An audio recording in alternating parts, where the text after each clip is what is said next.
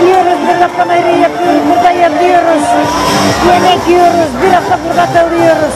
Çok memnunuz.